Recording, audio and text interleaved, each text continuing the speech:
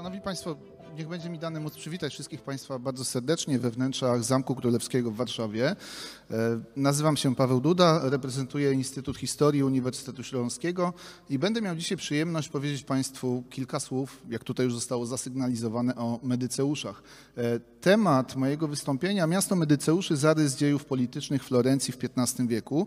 Natomiast pozwolę sobie zacząć od e, czegoś, co fachowcy nazywają lokowaniem produktu. Jak tutaj pani Ewa wspomniała, w zbiorach zamku można oglądać, i to można oglądać do stycznia przyszłego roku, e, obraz e, Madonny z Dzieciątkiem autorstwa Paulo Uccello i ten artysta będzie takim nieoczywistym bohaterem wykładu, to znaczy będę starał się przedstawić kontekst. e, okoliczności, w jakich tworzył e, i pozwolę sobie zabrać Państwa w taką specyficzną podróż w czasie i przestrzeni. W czasie, bo do XV wieku, a w przestrzeni, dlatego że przeniesiemy się z nad Wisły nad Arno, natomiast nie tylko do samej Florencji, bo żeby zobrazować to, co się działo mm, we Florencji, należałoby uwzględnić również to, co się dzieje w innych miejscach Półwyspu, e, Półwyspu Apenińskiego. E, proszę Państwa, jeżeli mm, byśmy się przypatrzyli Medyceuszom, to jest to jeden z najbardziej interesujących rodów, jakie występują na Półwyspie Apenińskim w czasach nowożytnych. Mm, oni od lat budzą zainteresowanie historyków. Pojawia się bardzo dużo publikacji mm, im poświęconym. E, chyba w polskiej e, literaturze przedmiotu, a właściwie w tych wszystkich pracach tłumaczonych na język polski e, są najczęściej bohaterami różnego rodzaju opracowań. W porównaniu na przykład z innymi rodami włoskimi tego okresu czasu, no to jednak najwięcej, najwięcej opracowań będziemy mieli poświęconych właśnie temu rodowi. Z czego to wynika? Jak nie mam, szanowni państwo, wynika to z takiego podejścia no, stricte ludzkiego. E, to znaczy, my uwielbiamy śledzić nieoczywiste kariery mm, i drogę awansu. A medyceusze właśnie taką karierę mają, bo proszę zwrócić uwagę, że to jest taka kariera, jak zwykło się mówić, od zera do bohatera. Taka kariera made by self. To znaczy, zaczynają jako rodzina drobnokupiecka, natomiast z czasem dzięki własnym umiejętnościom, zaradności, sprytowi i oczywiście bardzo dużej dozie szczęścia dochodzą do niesamowitej pozycji. Bo proszę zwrócić uwagę, że będziemy mieli trzech papieży wywodzących się z rodu Medyceuszy, będziemy mieli dwie królowe Francji wywodzące się z rodu Medyceuszy. Medyceusze w pewnym momencie bardzo mocno połączą się różnego rodzaju więzami małżeńskimi z najpotężniejszą dynastią czasów nowożytnych, a więc z Habsburgami. No i w końcu XVI wiek przyniesie wyróżnienie Medyceuszom i e, ich państwu, bowiem Florencja, właściwie Toskania już wówczas, e, stanie się Wielkim Księstwem Toskanii, to znaczy uzyska tytuł wielkoksiążęcy, tym samym wyrośnie ponad poziom innych państw włoskich. I właśnie wspomnianym Medyceuszom, szanowni państwo, poświęcony będzie, e, poświęcony będzie wykład. E, ja sobie pozwolę jeszcze zauważyć, że mm, sam tytuł Miasto Medyceuszy obrazuje z jednej strony fakt, że jeżeli by się przejść ulicami Florencji, to właściwie ślady obecności Medyceuszy jesteśmy w stanie tam dostrzec. No, proszę zwrócić uwagę. Herb Medyceuszy bardzo często pojawia się na ulicach na ulicach Florencji. Natomiast nie tylko, nie tylko przez pryzmat zabytków należy ich, ich e, postrzegać, e, należy ich postrzegać również przez pewnego rodzaju zaufanie społeczne, jakim się cieszą, zwłaszcza wśród tych niższych i średnich warstw e, mieszkańców Florencji. I najlepszym przykładem niech będzie tutaj, szanowni państwo, spisek Pazzich, o którym jeszcze będę mówił, kiedy to lud Florencji, zachęcany przez Pacich do tego, żeby wystąpił przeciwko Medyceuszom, krzyczy palle, palle. Te palle, palle to są oczywiście kule, kule widoczne tutaj e, na herbie. A skoro mowa o samym herbie, to szanowni państwo, dwa słowa na temat pochodzenia zarówno mm, herbu, jak i samej rodziny. To znaczy Medyceusze stworzyli swoją piękną historię. Ona jest epicka. Mówię oczywiście o historii pochodzenia jest pewnego rodzaju legendą. mówiącą, że jeden z założycieli rodu, niejaki Averardo de Medici, który był rycerzem Karola Wielkiego, podczas podróży przez terytorium Toskanii spotkał olbrzyma, którego pokonał.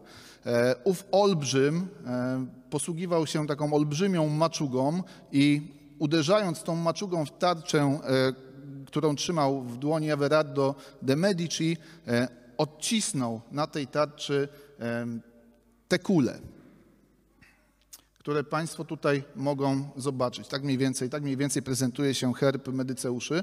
On oczywiście ma różne warianty, to znaczy ta liczba kul na herbie się zmienia. Natomiast e, heraldycy zastanawiają się nad rzeczywistym pochodzeniem tego, tego herbu. Istnieje kilka teorii, natomiast co do żadnej nie mamy pewności. Niektórzy uważają, że wspomniane kule, szanowni państwo, to są albo bańki, które służyły do leczenia, albo wręcz pigułki, e, co miało się wiązać z nazwiskiem rodowym Medyceuszy, z języka włoskiego medici, a więc e, aptekarze, ci, którzy zajmują się produkcją e, medykamentów. Istnieją oczywiście też inne teorie. Jedna z teorii mówi, że te czerwone kółka to są jabłka, a nawet pomarańcze, którymi oni handlowali, co miało potwierdzać ten charakter handlowy rodziny. Natomiast najbardziej prawdopodobna teoria mówi, szanowni państwo, że są to bizanty, czyli monety używane w średniowieczu e, w, na terytorium e, Cesarstwa Bizantyjskiego. E, I ten herb ma nawiązywać do mm, czegoś, co nazywano cechem bankierów i osób zajmujących się wymianą pieniędzy. Ten cech nosił nazwę arte del cambio. E, I proszę zwrócić uwagę, ten czerwony herb, który tutaj Państwo mm, widzą, to jest właśnie herb tego cechu, natomiast medyceusze najprawdopodobniej po prostu go e, odpowiednio zmodyfikowali, zamienili kolory, e, ograniczyli liczbę kul, stąd najprawdopodobniej narodził się nam wspomniany herb medyceuszy. Jeżeli chodzi, Szanowni Państwo, o Medyceuszy, oni pochodzą z, nie są autochtonami, nie pochodzą z Florencji, pochodzą z miejscowości Mugello. To jest miejscowość położona na północ od Florencji, właściwie u podnóża Apeninów. Natomiast w XII wieku pojawiają się nam we Florencji. E, są imigrantami ekonomicznymi i są jedną z wielu rodzin, które w tym czasie napływają do miasta w związku z bardzo dynamicznym rozwojem Florencji. E, Florencja wtedy wyrasta nam, Szanowni Państwo, na bardzo bogate miasto. Bogate przede wszystkim dzięki rozkwitowi przemysłu tekstylnego, a także dzięki temu, że leży na przecięciu się szlaków handlowych. Wszystko to sprawia, że w XIII wieku mamy takie boom demograficzne e, i jak podają dane, e, około, około 1200 roku liczba mieszkańców Florencji wynosi 25 tysięcy, około roku 1250 już 65 tysięcy, a 100 lat później to będzie około 100 tysięcy mieszkańców. Mm, świadectwem potęgi gospodarczej e, Florencji niech będzie fakt, że mm, miasto to wprowadza swoją własną walutę, czyli florena. E, walutę, która jest właściwie uznawana w całej Europie. W XIII wieku, drodzy Państwo, dostrzegamy przedstawicieli rodu Medyceuszy, którzy aktywnie angażują się w politykę. Przede wszystkim w taki ostry spór, który w XIII wieku e, no, zapisał się w historii Florencji, ale nie tylko Florencji, również innych miast Półwyspu Apenińskiego. Chodzi mi tutaj o spór tak zwanych Gwelfów z Gibelinami. Gwelfowie byli to zwolennicy papieża, Gibelini mm, zwolennicy cesarza. E, no i tak jak wspomniałem, ten konflikt naznaczył nam e, historię państw włoskich czasów e, nowożytnych. Ostatecznie, drodzy Państwo, ten spór kończy się w roku 1289 zwycięstwem Gwelfów, a więc Medyceusze są po tej stronie zwycięskiej. Kilka lat później, dokładnie w 1293 Gwelfowie potwierdzają swój, swój sukces, wydając tak zwane rozporządzenia sprawiedliwości. To jest dokument, na mocy którego odbierają gibelinom wpływ na władzę. I to wydarzenie staje się takim kamieniem milowym, które rozpoczyna dalszy, rozpoczyna bardzo intensywny, może tak, rozwój miasta. Rok później, to znaczy w 1294 roku, rozpocznie się budowa Duomo, czyli tej katedry florenckiej. Mogą ją Państwo o, tutaj dostrzec, na panoramie, którą e, określamy jako Carta della Catena. E, to jest oczywiście późniejsza weduta Florencji, natomiast oczywiście ten budynek e, Duomo e, góruje nad, e, nad całym miastem. E, w roku 1298, a więc cztery lata później, e, zostanie rozpoczęta budowa Palazzo della Signoria, czyli Rady Miejskiej, która będzie się składała, szanowni państwo, z dziewięciu osób, z gonfaloniera i z ośmiu priorich i będzie rządziła miastem. E, I też warto zwrócić uwagę, że w tym okresie pierwsi medyceusze, a dokładnie Ardingo Mediceusz czy Ardingo de Medici zostaje e, wylosowany właśnie do tej signorii, dzięki czemu medyceusze zaczynają odgrywać rolę polityczną, jak również e, świadcząc usługi finansowe e, zaczynają gromadzić majątek. Ten bardzo prężny rozwój miasta e, zostaje zakłócony w połowie XIV wieku. W latach 40. mamy do czynienia z poważnym kryzysem gospodarczym, z wielką recesją, w wyniku której uznane rody bankierskie Florencji bankrutują. E, do tych rodów zaliczamy m.in. Bardich, Peruzzich, e, Acciaiolich. Oni bankrutują. E, na to wszystko nakładają się jeszcze mm, plagi nieurodzaju. Ostatecznie mm, Florentyńczycy wyjdą z kryzysu gospodarczego, natomiast to jest tylko i wyłącznie zapowiedź wielkiej katastrofy, która spadnie na Florencję. Mianowicie, drodzy Państwo, w roku 1348 e, przez Florencję przetacza się epidemia tak zwanej czarnej śmierci. E, szacuje się, że wówczas umiera około połowa mieszkańców miasta. 50 tysięcy e, Florentyńczyków żegna się z życiem. Jest to bardzo duży cios demograficzny dla miasta i jednocześnie olbrzymia szansa dla medyceuszy. E, jak wyliczyła Mary Hollingsworth, na 29 męskich przedstawicieli rodu zmarło tylko sześciu, 23 pozostało przy życiu. W efekcie czego we Florencji pojawiła się próżnia demograficzna, którą trzeba było zagospodarować. I tutaj faktycznie e, medyceusze będą dzięki temu mieli coraz większy wpływ na to, co się dzieje, zarówno na tej niwie gospodarczej, to znaczy zaczną otwierać swoje interesy, jak również na tej niwie politycznej. Więc można by powiedzieć, że są tymi szczęściarzami, którzy faktycznie przetrwali epidemię czarnej śmierci. E, i możemy mówić, patrząc na sytuację polityczną, o pewnym podziale medyceuszy, bowiem część rodu e, związała się z ugrupowaniami konserwatywnymi, którym przewodziła rodzina Albicich, e, na początku Mosso Albici, a następnie Rinaldo Albici. To byli e, przedstawiciele takich starych rodów, którzy bardzo niechętnie patrzyli na ludzi przybywających do miasta, na tych tak zwanych noworyszy. Paradoks całej sytuacji polegał na tym, że, flory, że medyceuszy e, również uważano właśnie za e, noworyszy, natomiast nie przeszkodziło to części rodu faktycznie z tymi mm, ugrupowaniami konserwatywnymi się e, związać. Mówię części rodu, bowiem druga część nadal pozostawała tak zwanymi populistami, stała w bardzo ostrej opozycji do do mm, konserwatystów, do albicich i, i, taką mm, postacią e, związaną z populistami był niejaki e, Salvestro Medici. On w pewnym momencie został wygnany, natomiast zanim do tego doszło, to warto by było jeszcze wspomnieć, Szanowni Państwo, o tak zwanym buncie ciąpich. On ma miejsce w roku 1378. To jest sytuacja, kiedy najniższe warstwy społeczne, najniższe e, opracowania historyczne używają wręcz słowa motłoch miejski, e, przejmują władzę we Florencji. E, Ich rządy kończą się e, totalną katastrofą, w związku z czym konserwatyści umacniają tylko i wyłącznie swoją władzę.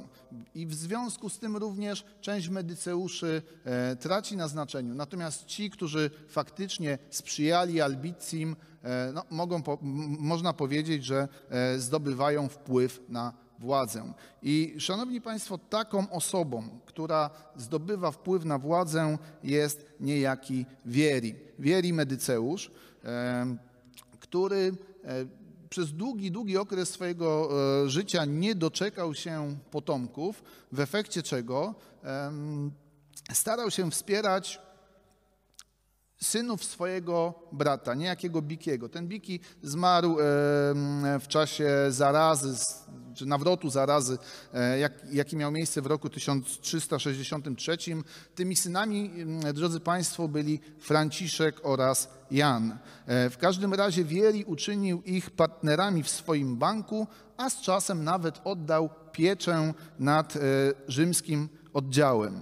E, w roku 1391 Wieri podzielił swój bank, e, w efekcie czego bardzo duży udział przypadł jego bratankom. Mówię bardzo duży, bo jak się okazało, Wieri później doczekał się potomstwa e, z drugiego małżeństwa.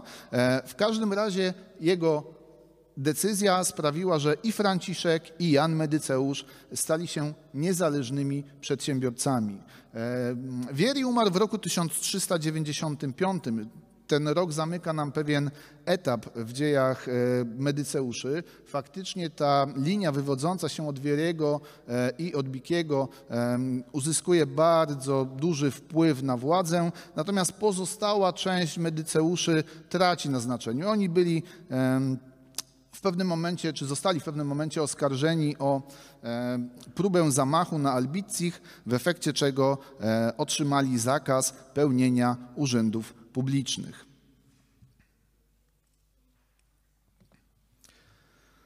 E, bank Medyceuszy funkcjonował bardzo sprawnie. To znaczy mm, Jan przebywał e, w Rzymie, w oddziale rzymskim, Franciszek przebywał we Florencji. E, rzymski oddział oczywiście współpracował z papiestwem. Bracia w ogóle ze sobą też współpracowali, w efekcie czego ich interes zaczął przynosić wymierne korzyści. Ponadto aktywnie uczestniczyli w życiu e, politycznym jako przedstawiciele mm, e, Rady Miejskiej. E, Franciszek też bardzo szybko pożegnał nam się ze światem, bo zmarł w roku 1402, natomiast schedę po nim przejął jego syn Averardo. Warto również nadmienić, Szanowni Państwo, że Jan pojął za żonę Picardę Bueri, która urodziła mu synów Kosmę oraz Wawrzyńca w 1397 roku. I to jest data, którą uznaje się za taki początek Banku Medyceuszy. Jan przenosi swój bank, ten oddział rzymski do Florencji i jednocześnie rozpoczyna współpracę z e, Benedettem de Bardi. E, rodzina Bardich to jest ta rodzina, która zbankrutowała w latach 40 XIV wieku, natomiast starają się odbudować e, swoje wpływy i tutaj ta współpraca będzie bardzo owocna, dlatego że później obydwie rodziny zostaną połączone e, więzami małżeńskimi. E, na dalszy rozwój Banku Medyceuszy, drodzy Państwo, miała, znajomo, miała wpływ znajomość Jana z niejakim Baltasarem Kossą. Baltasar Kossa to jest postać no, nietuzinkowa, można by powiedzieć. E, arystokrata neapolitański, który został piratem. W momencie, kiedy piractwo mu się znudziło, postanowił zrobić karierę w kurii papieskiej e, i korzystając, szanowni państwo, ze wsparcia papieża Bonifacego IX, e, stał się bankierem papieskim, kardynałem, gubernatorem Bolonii i co ważniejsze, dłużnikiem Jana, który pożyczał mu pieniądze. Mm, efekt był taki, że oczywiście Jan e, no, musiał w jakiś sposób odwdzięczać się e, medyceuszom za, za pożyczki finansowe, obdarzał ich względami, a sytuacja w kościele była o tyle ciekawa, że mamy do czynienia, drodzy Państwo, wówczas z tak zwaną z tak zwanym kryzysem określanym jako schizma zachodnia. To znaczy było dwóch papieży, jeden w Rzymie, drugi w, w Awinionie. No i z inicjatywy między innymi Kossy stwierdzono, że trzeba wybrać trzeciego papieża. Tym trzecim papieżem został Aleksander V, natomiast ten jego pontyfikat jest bardzo krótki. Po jego śmierci mamy kolejny wybór papieża, no i nowym papieżem zostaje sam Kossa. Sam Baltasar Kossa zostaje papieżem jako Jan XXIII. Mm, on w historii Kościoła jest uważany za antypapieża, dlatego w poczet papieży się go raczej e, nie zalicza. Nie odegrał jakiejś większej roli w historii Kościoła, natomiast to, co istotne, za jego pontyfikatu e, Bank Medyceuszy bardzo dobrze funkcjonuje. Kariera Kossy skończyła się równie szybko, jak się zaczęła, to znaczy skończyła się podczas soboru w Konstancji, e, kiedy to został e, decyzją soboru pozbawiony urzędu. E, na jego miejsce, szanowni państwo, został wybrany Marcin V i to jest właściwie ten papież, który kończy nam schizmę zachodnią. Natomiast przy okazji samego soboru w Konstancji warto zwrócić uwagę, że na nim pojawia nam się bankier papieski, jakim jest młody Kosma Medyceusz, czyli najstarszy syn Jana, ten, który ostatecznie przejmie po nim schedę. E, nowy papież, szanowni państwo, Marcin V początkowo nie ma zaufania do medyceuszy e, i bankierami papieskimi tworzy zupełnie inny ród. To jest tak zwany ród spinich. Natomiast e, ten ród też bardzo szybko bankrutuje, no i nie mając za bardzo wyboru, papież decyduje się jednak powrócić do tego, co było wcześniej, czyli ponownie powierza prowadzenie rachunków papieskich rodzinie medyceuszy. E, w 1420 roku Jan przekazał swoim synom bank. E, oczywiście należy tutaj nadmienić, że mm, sam bank funkcjonował doskonale. E, natomiast na starość życia Jan zaczął skupować ziemię w rodzinnej miejscowości w okolicach Mugello wykazywał się również pewną działalnością fundatorską. Między innymi finansował przebudowę kościoła świętego Wawrzyńca, ponadto zaangażował się w życie polityczne, pełniąc urząd gonfaloniera. Był również bardzo częstym gościem w Palazzo della Signoria e, i e, gościł tam w charakterze doradcy. Na lata 20 XV e, wieku, szanowni państwo, przypada również, i to oczywiście jeszcze za życia e, Jana, budowa partii medycejskiej, takiego stronnictwa, które popierałoby e, medyceuszy. Bardzo szybko się okazało, że ci medyceusze tak naprawdę nie pasowali do konserwatystów, nie pasowali do albicich, w związku z czym zaczęto tworzyć, e, czy zaczęli tworzyć swoje własne ugrupowanie. Polegało to na tym, że przekupywali priori, obiecywali im różnego rodzaju korzyści, na wszelkie możliwe sposoby ich pozyskiwali. Ponadto starali się zawierać związki małżeńskie z takimi podupadłymi rodami, e, które kiedyś e, miały wiele do powiedzenia we Florencji, natomiast na wskutek e, różnych zawirowań gospodarczych utraciły to znaczenie. I takimi rodami będą na przykład wspomniany ród Bardich, tu, tu, należy wspomnieć o tym, że Kosma e, Medyceusz zostanie, czy ożeni, zostanie ożeniony z Kontesiną de Bardi, e, a więc e, córką wspólnika Medyceuszy. Wawrzyniec Medyceusz zostanie e, ożeniony z przedstawicielką innego takiego znamienitego rodu Cavalcantich. Innych, innym takim rodem, szanowni państwo, będzie jeszcze Torna Błoni. Tu akurat wnuk Jana zostanie, wnuk Jana, czyli Piotr Podagryk, zostanie ożeniony z Lukrecją Torna Błoni i w ten oto sposób Medyceusze budują swoje zaplecze polityczne. E, I jak łatwo się domyślić, e, fakt, że tworzą swoją własną partię, e, doprowadzi do tego, że rozgorzeje nam spór pomiędzy zwolennikami Medyceuszy a konserwatystami, na których czele stoi oczywiście ród Albicich. E, szanowni Państwo, za początek takiego otwartego konfliktu między Albicimi a Medyceuszami uważa się rok 1426. E, wówczas to przedstawiciel Albicji Rinaldo w takiej ostrej mowie zaatakował e, Medyceuszy. Natomiast tak naprawdę największe mm, apogeum konfliktu ma miejsce w roku 1429.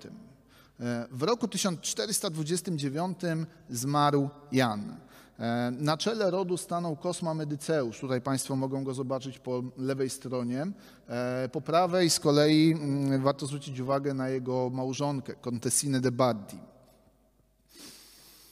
Mm, to małżeństwo doczeka się potomka. Oczywiście tym potomkiem będzie Piotr zwany podagrykiem ze względu na swoją chorobę, czyli na e, podagrę. Natomiast warto również zwrócić uwagę, szanowni państwo, że rok 1429 to jest początek wojny z Lukką.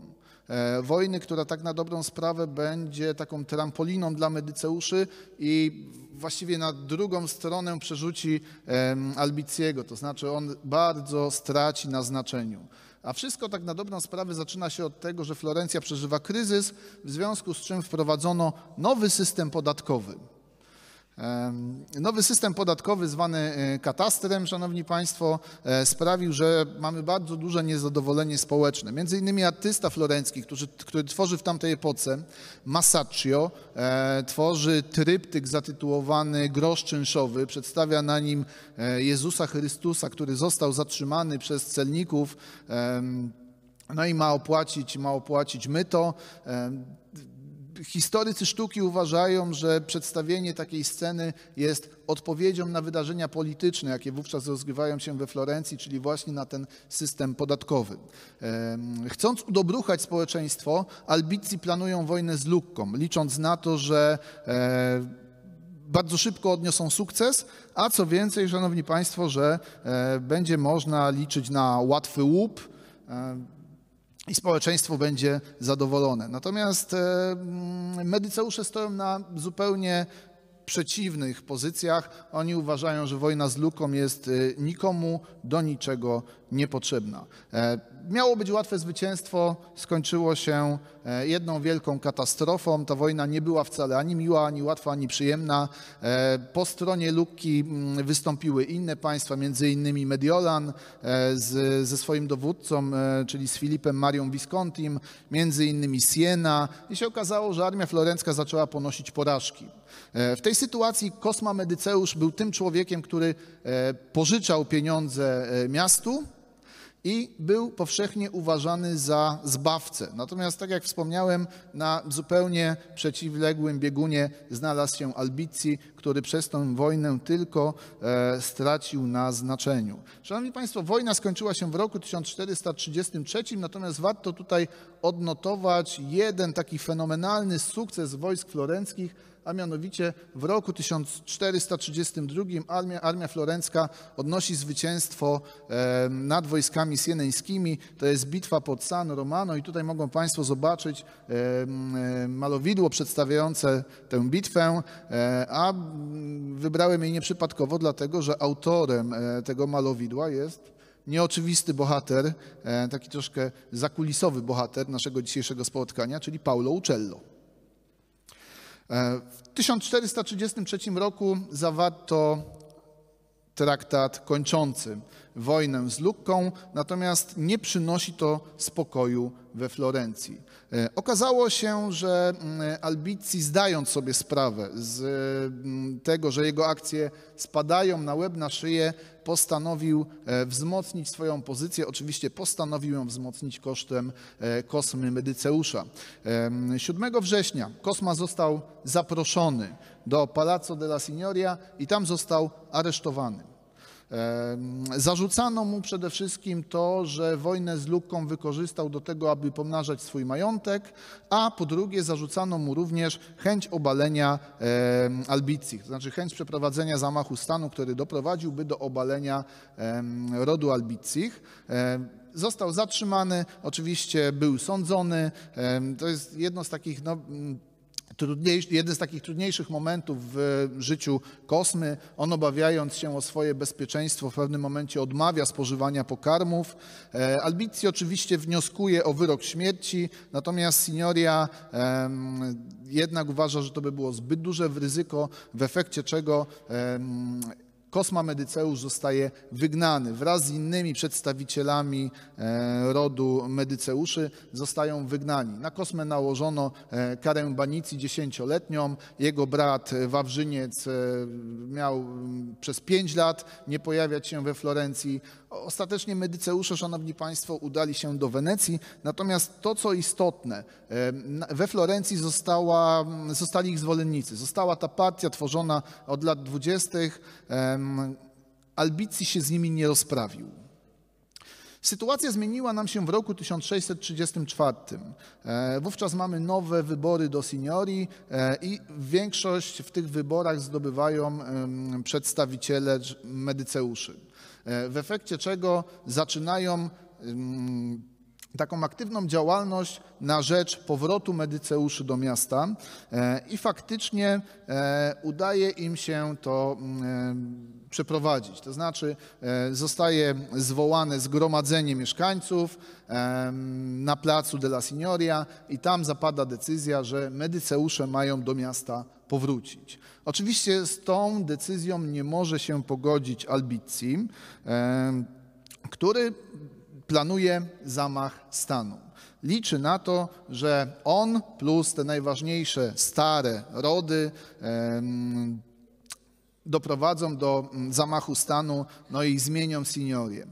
E, bardzo liczy na pomoc swojego przedstawiciela Paula Strociego, natomiast ten ostatecznie się wycofuje. Jednak tutaj e, no, mm, szacunek dla wartości republikańskich e, wziął górę, Strocy się z tego wycofuje. Całą sprawę jeszcze komplikuje fakt, szanowni państwo, że w tym czasie we Florencji przebywa papież Eugeniusz IV, który, mm, no tak się złożyło, musiał uciekać z Rzymu, więc on przekonuje Albiciego, że nie udzieli mu poparcia. Liczy przede wszystkim na pieniądze medyceuszy, a więc postanawia być poplecznikiem tego rodu. Ostatecznie Albiciemu cały plan wziął w łeb, nic się nie udało, zamach stanu nie został przeprowadzony, natomiast sam Albici zostaje osądzony i skazany na wygnanie. Natomiast korzystając z faktu, że Albiciego nie ma, do miasta, drodzy Państwo, powraca Kosma Medyceusz. I tu mogą Państwo zobaczyć obraz Giorgio Vasariego, powrót z wygnania Kosmy Medyceusza, który jak głosi legenda, był e, no, mm, witany na rogatkach miasta przez mieszkańców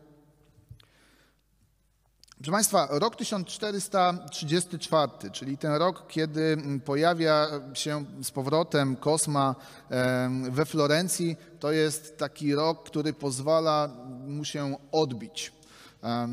Właściwie od tego momentu możemy mówić o tym, że Kosma zaczyna przejmować władzę we Florencji. Banicja przyniosła, jeszcze wcześniej wojna z Lukką, którą finansował, przyniosła mu niesamowitą e, popularność. W efekcie czego Kosma zaraz po powrocie do miasta rozpoczyna rozprawę z zwolennikami Albiciego, czyli właściwie robi to, czego Albici nie zrobił rok wcześniej. Ogółem wygnano około 90 osób, e, wydano również bardzo wiele wyroków zakazujących e, sprawowania funkcji publicznych. E, natomiast jako, że życie nie lubi próżni, w tych okolicznościach pojawiają nam się nowe postacie na scenie politycznej Florencji. Między innymi jedną z takich postaci będzie, szanowni państwo, Andrea Pazzi. E, do rodu Patich oczywiście za chwileczkę, e, za chwileczkę dojdziemy. Szanowni Państwo, Kosma Medyceusz rządzi Florencją poczynając od roku 1434 roku za taką fasadą republiki. To znaczy republika funkcjonuje, on nie sprawuje ważniejszych urzędów, natomiast wszystkie decyzje w mieście zapadają w ustaleniu z nim. E, w pewnym momencie e, przeprowadza e, wręcz zamach stanu przy pomocy Luki Pittiego, przy pomocy wojsk mediolańskich doprowadza do e, powołania tak zwanej Rady Stu. E, to jest organ, który on e, obsadził właściwie swoimi, swoimi poplecznikami i ten organ miał, szanowni państwo, decydować o przyznawaniu stanowisk publicznych. Czyli tak na dobrą sprawę od tego momentu to zwolennicy medyceuszy będą decydować, kto będzie zasiadał w seniori, kto będzie gonfalonierem, kto będzie wybierany jako priori. Mm, proszę Państwa, po powrocie z wygnania bardzo sprawnie działa bank medyceuszy. Po, pojawiają nam się nowe oddziały, między innymi w Brugi, między innymi w Bazylei.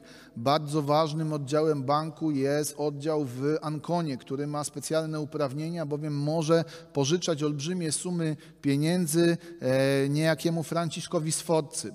E, I tutaj będzie dygresja. Franciszek Sforca, szanowni państwo, kondotier, który został czy zawarł małżeństwo z mm, Bianką Marią Visconti, Visconti to jest mm, córka Filipa e, Marii Viscontiego, a więc władcy Mediolanu, co właściwie usankcjonowało e, przejęcie władzy w Mediolanie przez, e, przez Sforcę. Natomiast to przejęcie władzy w Mediolanie też nie było oczywiste. Po, święci, po śmierci Filipa Marii Viscontiego Mediolańczycy chcieli, podobnie jak Florencja, być republiką, w efekcie czego Visconti musiał z władzy, przepraszam, nie, nie Visconti, Sforza, musiał władzę w Mediolanie zdobyć siłą. Oczywiście, żeby móc użyć siły, potrzebne są pieniądze. Skąd je wziąć? Oczywiście od medyceuszy. E, I tak na dobrą sprawę fakt ten stał się fundamentem takiego późniejszego sojuszu pomiędzy medy, medyceuszami a sforcami. E, jednocześnie, Szanowni Państwo, Medyceusz, jak już zostało wcześniej wspomniane, zabiegał o bardzo dobre relacje z e, papieżem z Eugeniuszem IV, i e, między innymi tak, przejawem tego e, był fakt zorganizowania soboru we Florencji. Tak na dobrą sprawę to ten sobór miał się e, odbyć w Ferrarze i tam się zaczyna w roku 1438, ale ze względu na fakt, że w mieście pojawiła się zaraza, Kosma Medyceusz namawia papieża, aby sobór przenieść do Florencji. I faktycznie tak się dzieje. Obrady soborowe wznowiono rok później.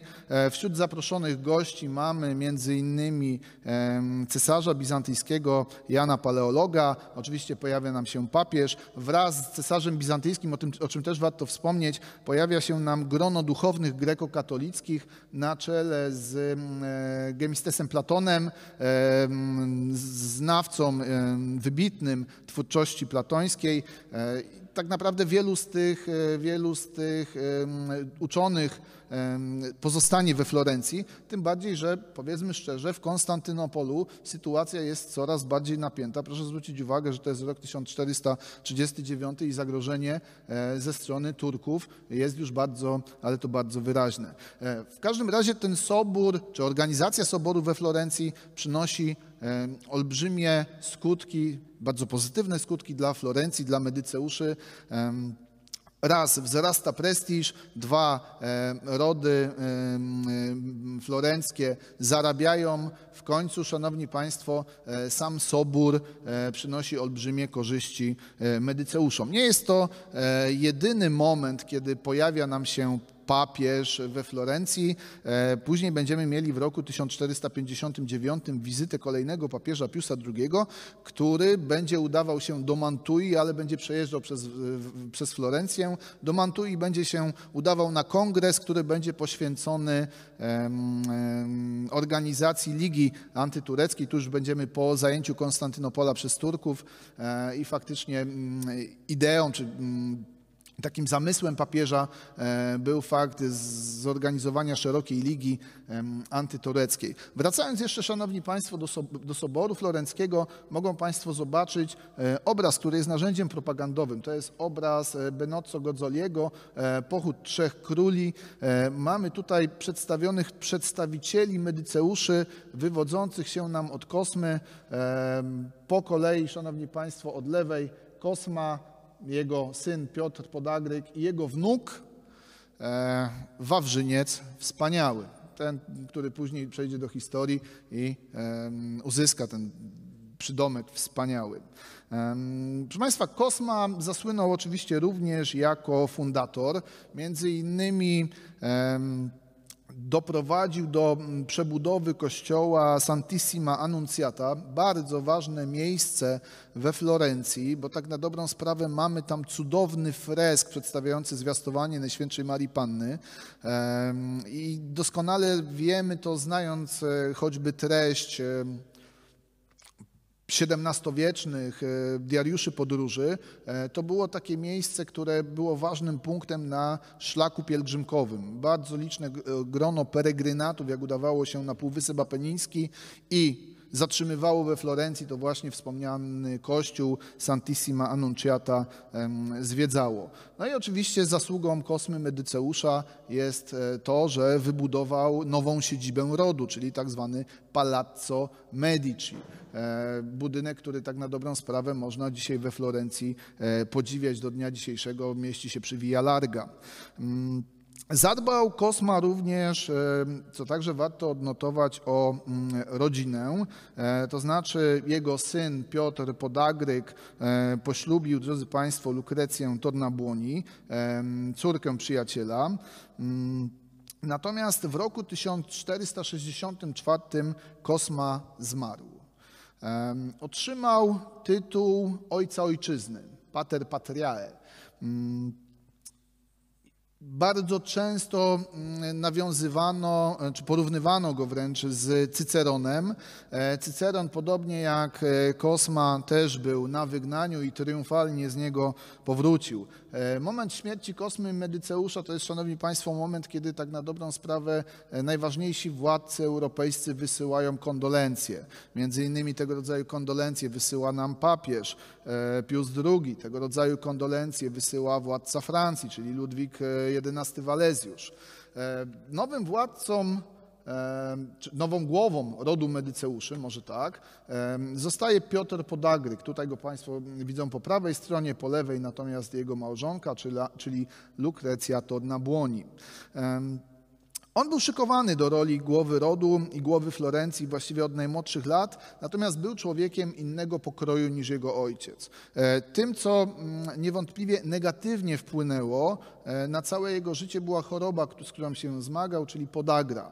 E, ona sprawiała, że mm, był po prostu gburowaty, małomówny, powściągliwy, no i nie za bardzo, nie za bardzo nadawał się na e, dowódcę, na przywódcę miasta, w związku z czym bardzo wielu przedstawicieli florenckiej sceny politycznej takiego przywódcy w nim nie dostrzegało. Inna sprawa, że Piotr Medyceusz właściwie od początku swoich e, rządów mm, popełniał błędy. Między innymi jednym z takich błędów był fakt, że uwierzył w pogłoski, jakoby Bank Medyceuszy e, tracił wpływy finansowe, w związku z czym nakazał wszystkim wierzycielom natychmiastową spłatę zaciągniętych kredytów, co oczywiście wywołało olbrzymie niezadowolenie społeczne w całym mieście.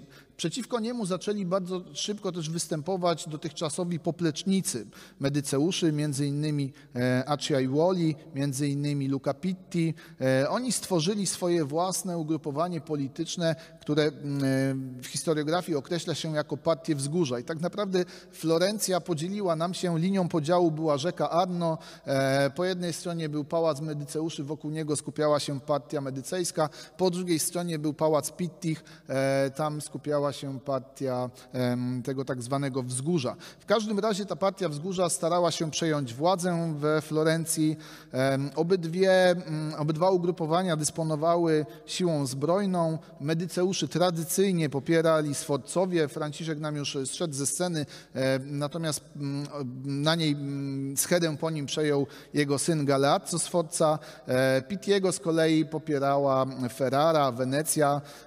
Ostatecznie przeciwnicy Medyceuszy wycofali się ze swojego pomysłu, żeby obalić e, Piotra, natomiast ten tak zwany kryzys sukcesyjny udało się dzięki temu właśnie przezwyciężyć, natomiast on też odcisnął się na panowaniu na panowaniu e, Piotra. Co warto podkreślić, Piotr umocnił swoje dobre relacje z Mediolanem, jak również z Neapolem. Pojawia się taka koncepcja trójstronnego porozumienia, które łączyłoby Mediolan, Florencję, Neapol. Między innymi efektem porozumienia z Neapolem jest fakt, że udało się przywrócić potomków rodu Strockich. Oni wrócili z Banicji mm, do Florencji. E, natomiast te no, nie do końca udane panowanie Piotra rekompensują na pewno mm, jego działania na polu polityki dynastycznej. To znaczy swojego najstarszego syna, e, Wawrzyńca, ożenił z Clarysą Orsini.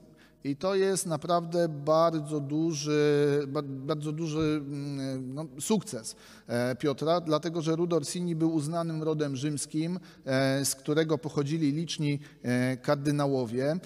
Zadbał również Piotr o rozwój banku medycejskiego i takim spektakularnym jego sukcesem był fakt, że udało mu się uzyskać monopol na handel aunem wydobywanym w Tofie. To było miasto, które leżało na obszarze państwa kościelnego i, i, faktycznie udało mu, się, e, udało mu się to uzyskać. E, zmarł Piotr w roku 1469, natomiast na scenie pojawia nam się e, ten przedstawiciel Medyceuszy, który nazywany jest wspaniałym, czyli Wawrzyniec. Tak jak wspomniałem, ożeniony z Klarysą Orsini i tutaj mogą Państwo zauważyć portrety i Klarysy i Wawrzyńca. Mm, Wawrzyniec był przygotowywany, podobnie zresztą jak jego ojciec, do pełnienia ważnych funkcji we Florencji. Między innymi za tym porozumieniem dotyczącym monopolu Aunem stał właśnie, stał właśnie Wawrzyniec, bo to on negocjował sprawę, jako że Piotr był chory i nie za bardzo mógł się e, przemieszczać, to on udał się do papieża i faktycznie udało mu się uzyskać prawo do sprzedaży Aunu. Odbywał również staż w Rzymie w tamtejszej filii banku, ale i to nam wyjdzie w przyszłości, Wawrzyniec raczej smykałki do interesów nie miał. E, to właściwie jest e, mało powiedziane. On z pieniędzmi się nie lubił. E, warto jednak wspomnieć, że to był doskonale wykształcony władca. Właściwie mm, wiele opracowań historycznych mówi, że spośród władców nowożytnych to to był jeden z najlepiej wykształconych. Wprowadza, szanowni państwo, dob, czy inaczej, stara się utrzymać dobre relacje z Mediolanem, między innymi Galazzo Sforza bardzo często gości wówczas we Florencji. E, co ciekawe, wraz z Galazzo Sforzą do Florencji przybywa jego córka, Katarzyna Sforza i tu Państwo pozwolą na pewnego rodzaju dygresję, dlatego że Katarzyna Sforca to jest kolejna nietuzinkowa postać czasów nowożytnych, której losy bardzo często będą się splatały z losami Medyceuszy i to e, naprawdę na różnych skrajnych pozycjach, e, bo ona będąc małą dziewczynką faktycznie gości z ojcem we Florencji i bardzo ją ta Florencja fascynuje. Później zostanie wydana za mąż za niejakiego Girolamo Riario. E, to jest postać, która będzie uczestniczyła w spisku na życie Medyceuszy, a więc będzie żoną zamachowca. E, jej trzecim mężem z kolei, szanowni państwo, będzie Jan Medyceusz, e, który zerwie kontakty z Medyceuszami i przyjmie nazwisko Popolano. Natomiast to, co istotne, z tego małżeństwa urodzi się syn, również Jan, e, który przejdzie nam do historii jako Jan od czarnych chorąg, Giovanni delle Bandenere. Mhm.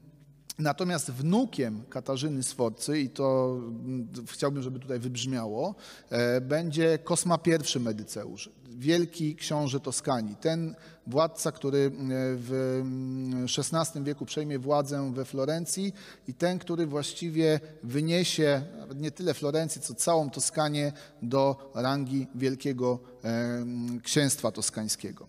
Mm. Więc e, no, faktycznie ta postać Katarzyny Swodcy gdzieś w otoczeniu tych medyceuszy nam także się pojawia i e, wybrzmiewa. E, warto zwrócić uwagę, Szanowni Państwo, że zaraz na początku swoich rządów e, Wawrzyniec, medyceusz ma całkiem niezłe relacje z papieżem, bowiem w momencie, kiedy nowym papieżem zostaje wybrany Sykstus IV, to Wawrzyniec osobiście składa mu gratulacje. Natomiast zaraz na początku rządów Wawrzyńca ujawnia nam się też bardzo silna opozycja antymedy, antymedycejska, e, która stara się wykorzystać błędy Wawrzyńca. A na pewno takim błędem Wawrzyńca, drodzy Państwo, jest sprawa Woltery. E, Woltera to było miasto będące w kręgu wpływów Florencji i w tej Wolterze odkryto złoża aunu, jeszcze bogatsze niż te złoża w Tolfie. Mieszkańcy Woltery tak na dobrą sprawę odebrali koncesję Florencji, postanowili, że sami będą zarabiać na wydobyciu aunu, e, w efekcie czego rozpoczęli bunt. E, Wawrzyniec postanowił użyć siły, no i faktycznie e, wojska Kondotiera, Montefeltra wkroczą do Woltery, złupią ją niemiłosiernie, mm, i odpowiedzialność za śmierć wielu osób spadnie właśnie na Wawrzyńca, co doprowadzi nas do takiego społecznego odium względem tej postaci. Bardzo wielu ludzi odwróci się do Wawrzyńca, natomiast poprze rosnących w siłę bankierów wywodzących się z rodu Paccich. Kim byli wspomniani Pazzi? Była to rodzina, stary ród szlachecki, pochodząca z pobliskiego Fiesole. Za protoplastę rodu uznaje się Pazzino de Pazziego, człowieka, który bierze udział w pierwszej krucjacie. On z tej krucjaty powraca do Florencji e, w glorii zdobywcy Jerozolimy wraz z relikwiami grobu pańskiego. E, no i przez całe średniowiecze przedstawiciele rodu Pazzich sprawują e, różne funkcje polityczne we Florencji, natomiast poświęcają się także oczywiście działalności handlowej i bankierskiej, z czasem wyrastając na jeden z najbogatszych rodów w mieście. E, jak łatwo się domyślić, e, między tymi dwoma rodami, między Medyceuszami a Pacimi, rozpoczęła się rywalizacja, chociaż, i to też warto podkreślić, e, te rody były także połączone więzami krwi, bo między innymi siostra Wawrzyńca, Mm, Bianka została wydana za Giulielma Pazziego, a więc mamy też tutaj pewnego rodzaju połączenia matrymonialne. To, co budziło największą niechęć Pazzich, to był fakt, że medyceusze są bankierami papieskimi. Oni mieli na to chrapkę, chcieli przejąć tę funkcję. No i Taka okazja pojawiła się, drodzy Państwo, w roku 1472. Wówczas Sykstus IV postanowił kupić dla swojego nepota Girolamo Riario, już nam się pojawił, to jest pierwszy mąż Katarzyny Sforcy, e, postanowił kupić Imolę, postanowił ją odkupić od Mediolanu. Jako, że Imola interesowała też medyceuszy, e, to medyceusze także mieli chrapkę. E, Sykstus IV poprosił medyceuszy o pieniądze na zakup Imoli, a Wawrzyniec odmówił. E, w związku z czym papież e, zdecydował się, że poprosi Paccich. E, Pacci oczywiście tej pożyczki udzielili, w efekcie czego stali się bankierami papieskimi. To oni przejęli obsługę finansów papieskich. Natomiast fakt odmowy udzielenia pożyczki papieżowi sprawił, że mm, no, papież na wszelkie możliwe sposoby zaczął utrudniać życie medyceuszom. Temu między innymi miała służyć nominacja Francesco Salvattiego, czyli krewnego Pazzich, na arcybiskupa Pizy, której mm, otwarcie sprzeciwiał się Wawrzyniec. Takim bardzo ważnym wydarzeniem jest również, Szanowni Państwo, pewna mm, e, zmiana w prawie, którą medyceusze mm, wprowadzają w roku 1477. To była zmiana, która mówiła, że e, kobiety nie mogą dziedziczyć, że w momencie śmierci przedstawiciela danego rodu, dziedziczenie miało przejść na linię męską, choćby była jak najbardziej, czy jak najdalsza, to jednak mężczyźni mieli dziedziczyć, a nie kobiety. Szczególnie to dotknęło Pazzich, dlatego że w pewnym momencie zmarł Giovanni Borromei, to był teść jednego z przedstawicieli tego rodu, Giovanniego de Pazzi, no i bardzo duża suma pieniędzy właściwie przemknęła Pazzim koło nosa i to był właściwie taki moment, gdzie już e, napięcie między tymi dwoma rodami było na e, ostrzu noża. E, w związku z czym, Szanowni Państwo, dochodzimy do wydarzenia, które podejrzewam jest doskonale znane Państwu i również bardzo dobrze opisane w literaturze przedmiotu, czyli do tak zwanego spisku Pazzich. Jego, mm, jego geneza, pokrótce ją przedstawiłem, jak to napięcie rosło. Warto zwrócić uwagę na uczestników tego spisku. E, ja sobie pozwoliłem tutaj wyszczególnić ich. Na pewno e, byli to mm, Jacopo i Francesco Pazzi. E, na pewno w całym, czy o całym przedsięwzięciu wiedział, czy o całej inicjatywie, wiedział papież Sixtus IV. E, na pewno w sprawę był zamieszany Francesco Salviati, e, na pewno Girolamo Riario i z tego, co ostatnie badania historyczne nam e, pokazują, Federico da Montefeltro. To był kondottier, też już o nim wspominałem, to był ten, który dowodził wojskami florenckimi w momencie, kiedy one dokonywały rzezi Woltery.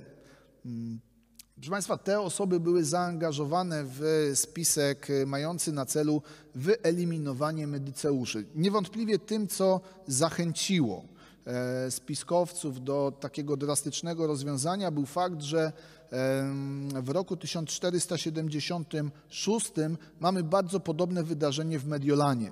Tam e, w 1476 dochodzi do zamachu na życie Galeazza Sforcy. Udanego zamachu, on zostanie zamordowany w kościele e, podczas nabożeństwa.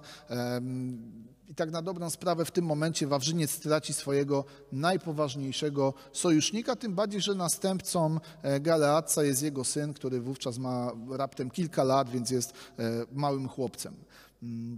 Proszę Państwa, mm, intryga, która została uknuta, polegała na tym, że należało zamordować dwóch najważniejszych medyceuszy, a więc Wawrzyńca i jego brata Juliana, a jednocześnie przejąć władzę we e, Florencji. I faktycznie ten zamach był odpowiednio przygotowany.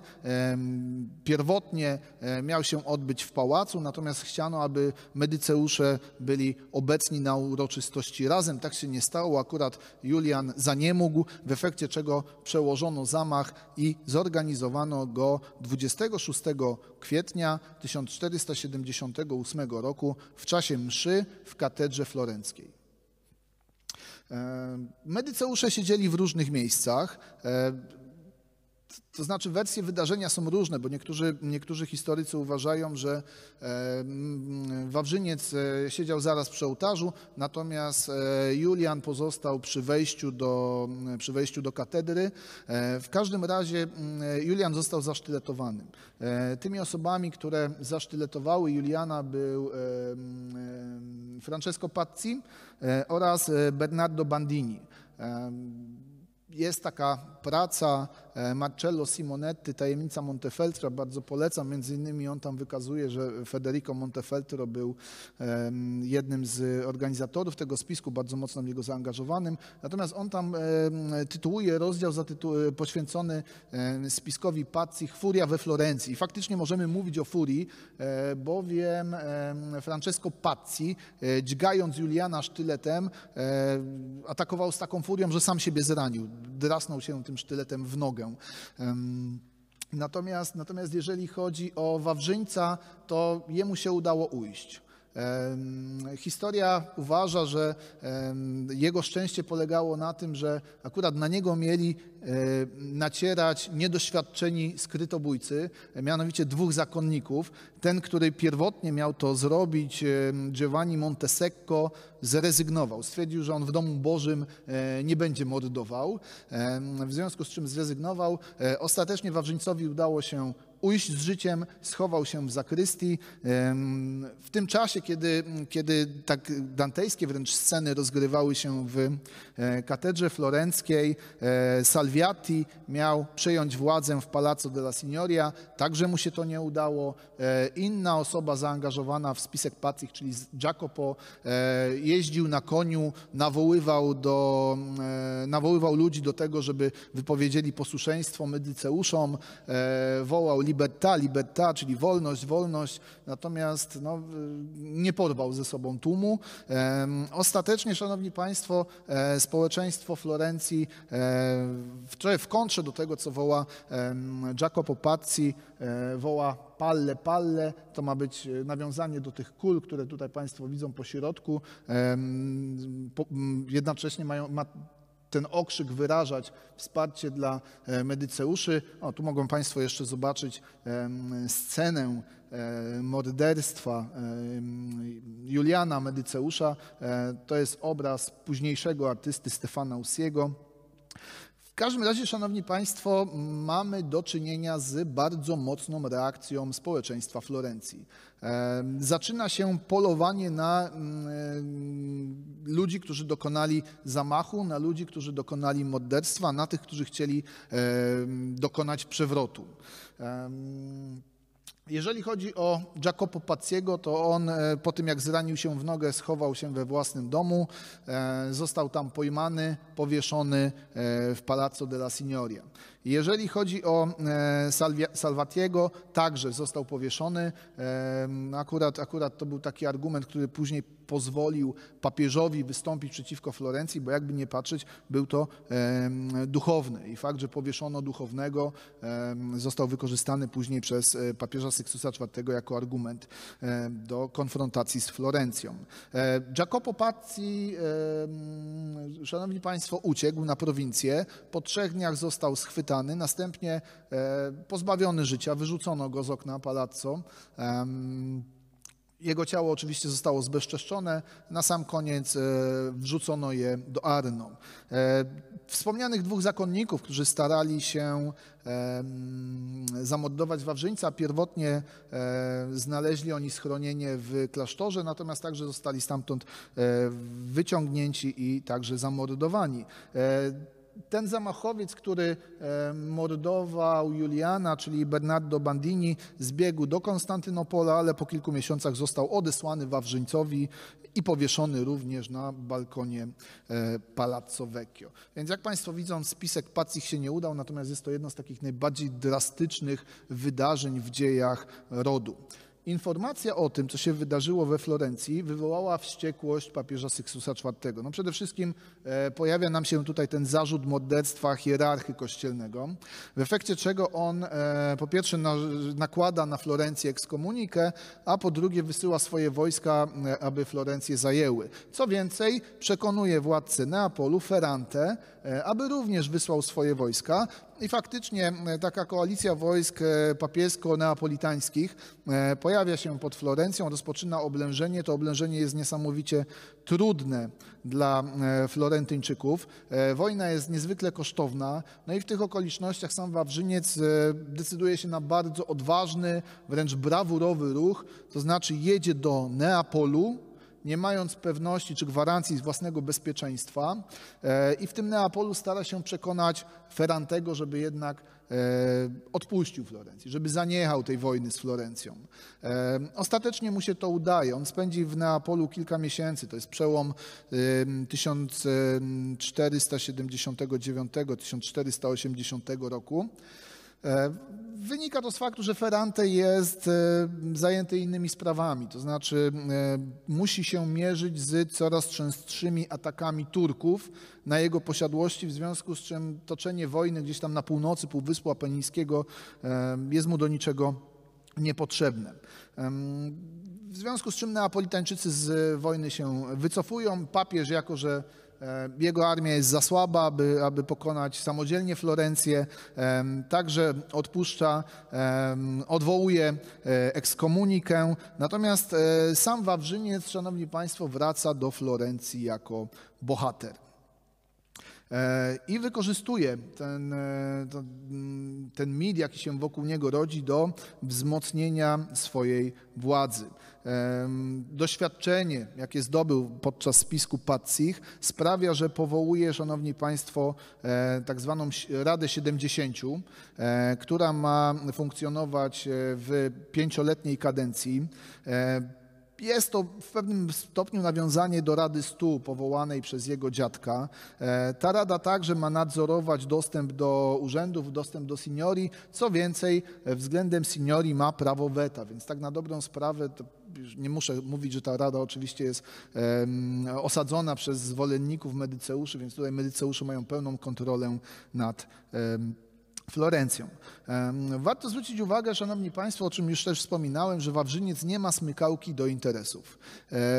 Jego bank właściwie mm, traci bardzo duże sumy. E, sam Wawrzyniec, co wykazała historia, defrauduje pieniądze z mm, kasy miejskiej.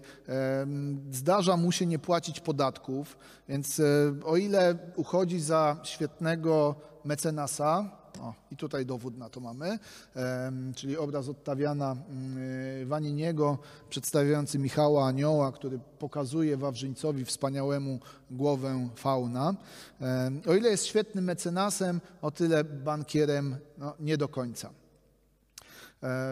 Wykorzystuje Wawrzyniec sztukę jako swego rodzaju narzędzie polityczne. Bardzo umiejętnie kształtuje swój e, wizerunek, tworzy pewnego rodzaju mit, E, w efekcie czego dzisiaj jest postrzegany jako mecenas, jest synonimem człowieka renesansu, jest poetą, patronem artystów, e, przywódcą, dyplomatą, e, osobą odnoszącą sukcesy.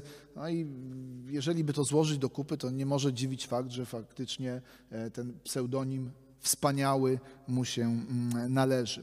E, proszę Państwa, tym, na czym szczególnie zależy Wawrzyńcowi i co właściwie będzie wytyczało jego politykę dynastyczną, jest e, chęć, aby jego potomek, jego drugi syn, czyli Jan, został kardynałem. On przewidział dla niego tutaj karierę duchownego i faktycznie liczy na to, że uda się ten kardynalat Janowi Mm, zapewnić. Natomiast dopóki papieżem jest oczywiście Sykstus IV, no to nie ma na to szans. Sytuacja się zmienia w roku 1484, kiedy nowym papieżem zostanie Innocenty VIII i wówczas Wawrzyniec nawiąże faktycznie e, bliższe relacje z papiestwem.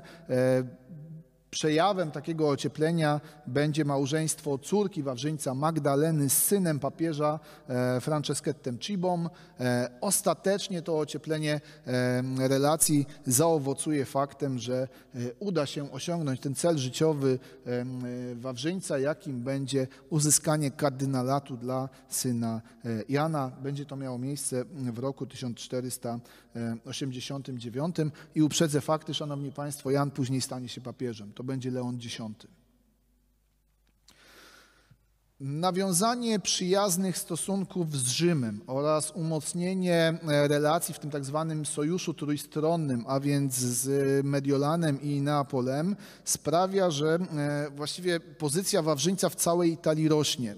I on określany jest wówczas, drodzy Państwo, jako tak zwana igła włoskiego kompasu, czyli człowiek, który ma wskazywać kierunek polityki. E, Wawrzyniec umiera w roku 1492, 8 e, kwietnia dokładnie, w swojej willi w Careggio. Jego następcą zostaje Piotr. E, Piotr oczywiście synowi nadał imię po swoim ojcu. Przechodzi nam do historii ów Piotr jako Piotr Nieszczęśliwiec. A jego całe nieszczęście, szanowni państwo, wiąże się z konfliktem, który przechodzi do historii jako wojny włoskie. W roku 1494 władca Francji, Karol VIII Walezjusz, wyrusza na Neapol. On rości sobie pretensje do tronu neapolitańskiego. E, trasa przemarszu bardzo silnej armii francuskiej wiedzie przez Toskanię. Liczono, że Florencja, jako że jest w takich dobrych relacjach z Neapolem, zatrzyma ten pochód Francuzów. Tak się jednak nie stało. Otóż e, w listopadzie 1494 roku e, Piotr wyjeżdża naprzeciw Karola VIII. Do legendy już wówczas przeszła słynna artyleria tego króla, która waliła mury miast, przez które, przez które przejeżdżał, e, niszczyła olbrzymią siłą ognia. No i Piotr obawia się o to miasto, które jego przodkowie dbali przez poprzednie dziesięciolecia nie chce narazić wszystkich tych zabytków na szwank, e, w związku z czym podpisuje taki haniebny układ, układ kapitulacji, to znaczy pozwala Francuzom przejść przez miasto pod warunkiem, że nic nie zniszczą, e, zgadza się na wypłatę olbrzymiej kontrybucji, mówi się tutaj o 200 tysiącach florenów, oddaje e, twierdze graniczne, oddaje bazy morskie, Livorno i Pizę, no i ta kapitulacja, której dokonuje Piotr, jest bardzo źle odebrana przez społeczeństwo florenckie. Zostaje uznana za hańbę. E, właściwie na Medyceuszy wydano niemalże natychmiast dekret o banicji. Ludność rozpoczyna, szanowni państwo, rabunek dóbr medycejskich.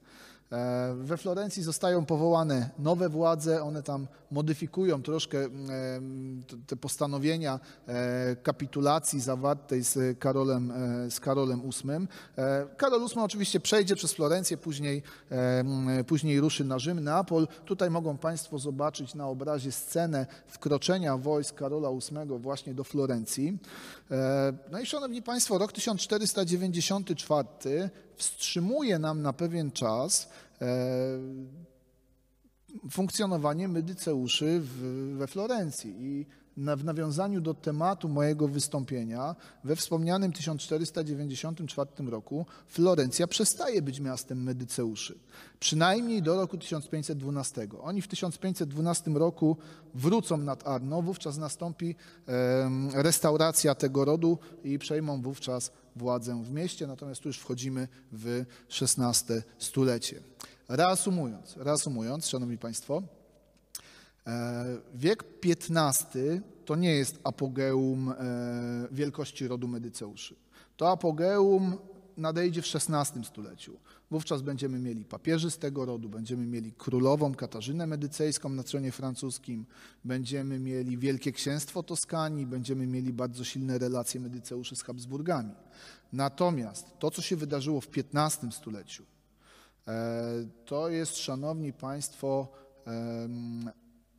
budowanie fundamentu potęgi tego rodu. To znaczy nie byłoby potęgi tego rodu bez takich postaci jak przede wszystkim Kosma Medyceusz, e, no i Wawrzyniec. Aczkolwiek ja mam wrażenie, że Wawrzyniec bardzo dużo czerpie po prostu z dokonań swojego dziadka. Bardzo serdecznie dziękuję za uwagę.